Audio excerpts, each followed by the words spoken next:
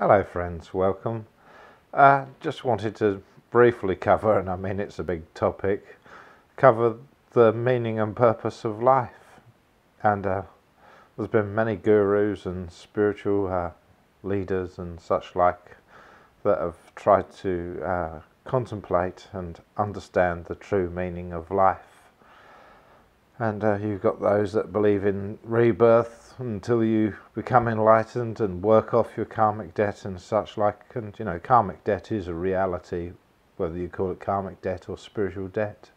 So we can take on negative things onto our spirit, and we will have to work them off. But in the present lifetime, um, there are those that can reincarnate from the spirit realm. They're all they are highly evolved beings. They have no karmic debt, so they bring no negativity onto the new life.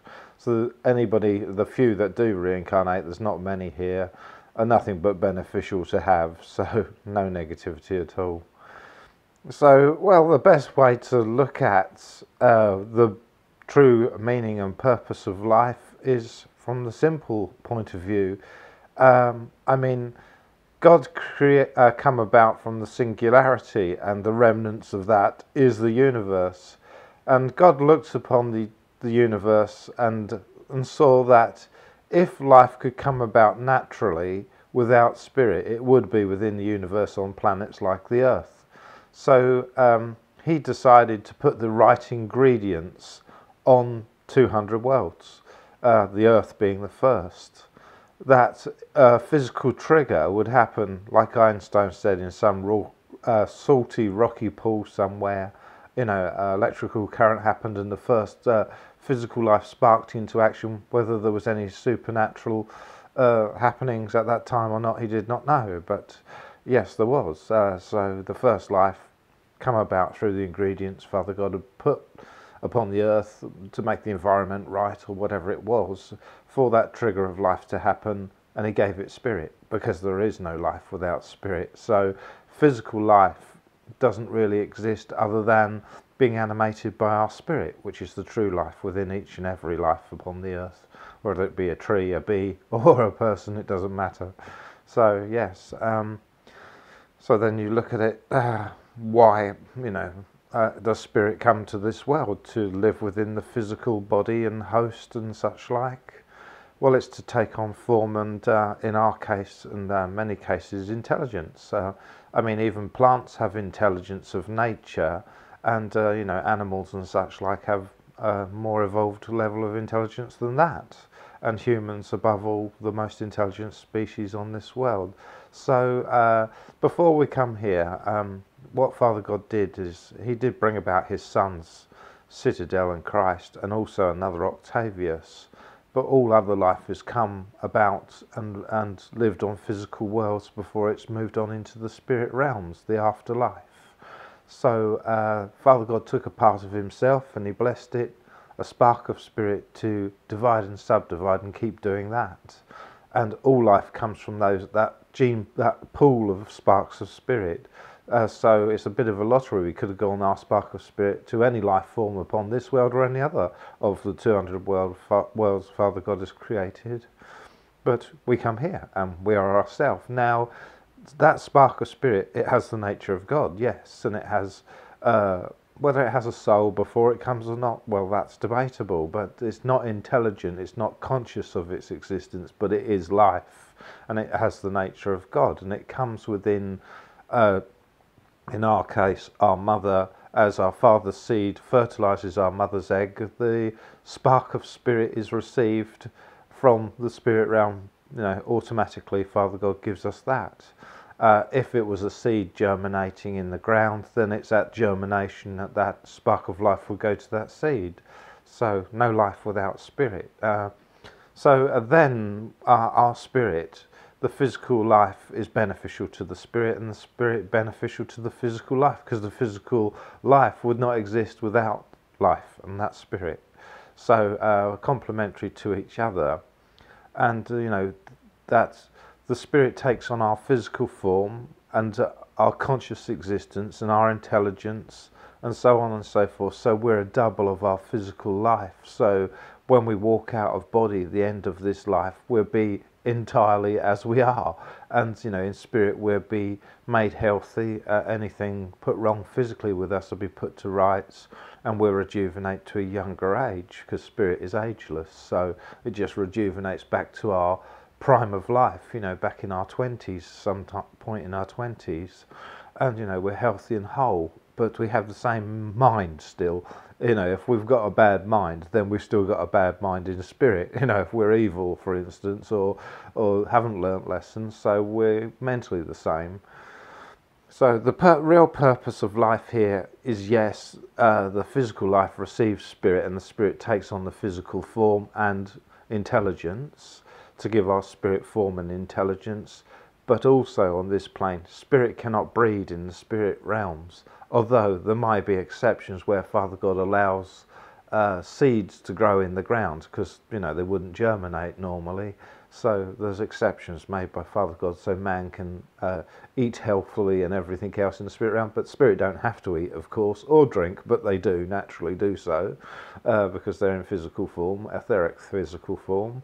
Uh, so yes, yeah, so the the two main purposes are to for the spirit to take on these things, and you know for procreation. You know that on the physical level we can uh, reproduce ourselves with our partner and you know have children or you know the tree bears fruit or the seed bears more seed and you know so on and so forth so this is a plane of of procreation but uh, its great purpose is you know we are physical beings and quite often don't realize we're spiritual and it is for us to reveal and unravel the fact that we are spiritual beings living within a physical host.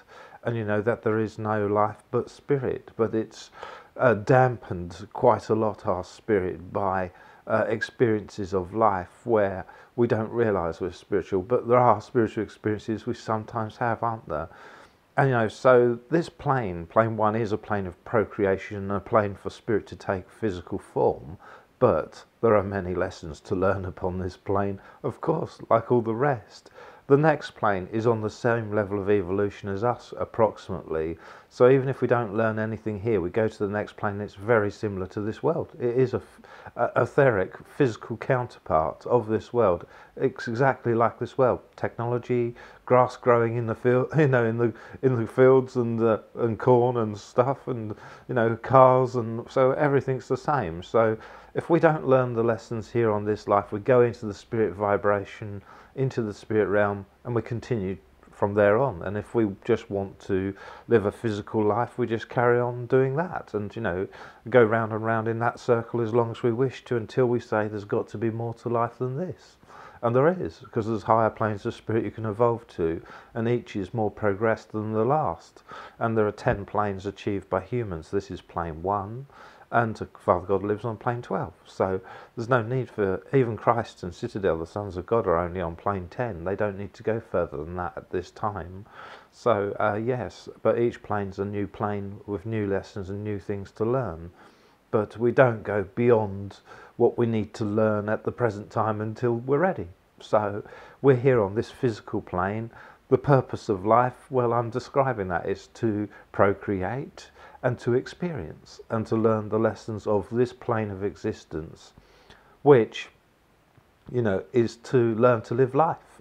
Uh, I mean, that's the greatest lesson of all, isn't it? And to live life in a good way, a beneficial way, and to learn to cope with life.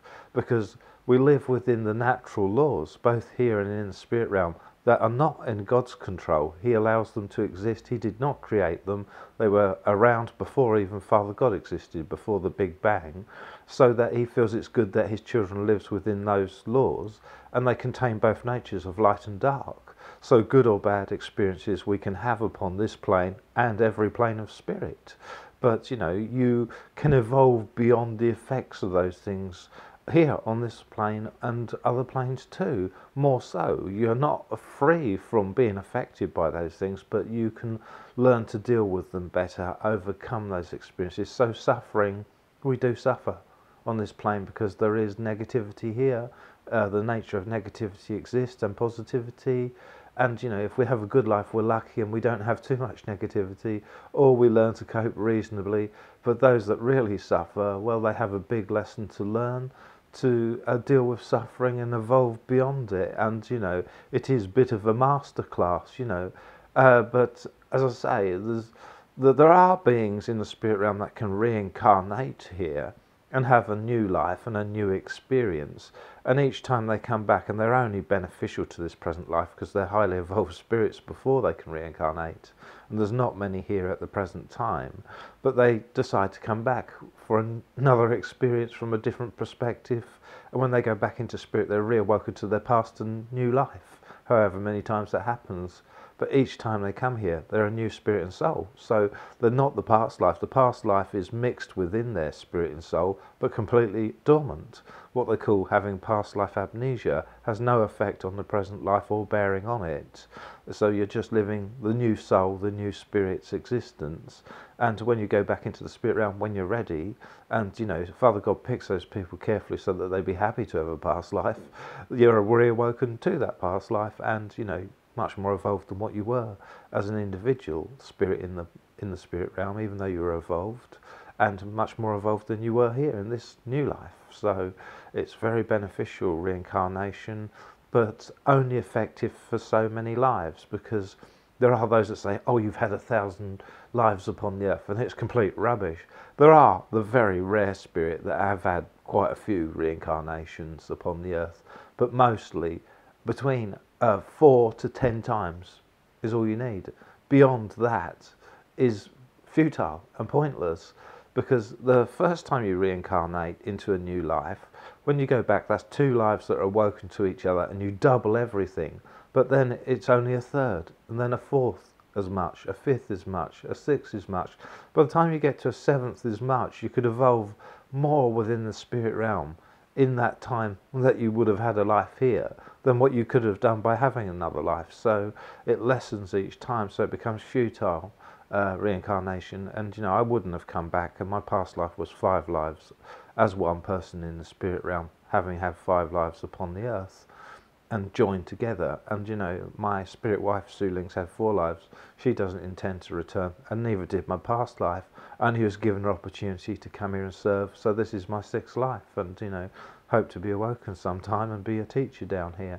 So yeah, and I mean, I've had a terrible ordeal of suffering, but you know, out of out of negativity is born light because you have a lot of affliction put upon you in the end, you overcome it and uh, master it. So that's what this world's really about a big lesson for us all to master and to deal with and to have a good life and enjoy it because life is for the living.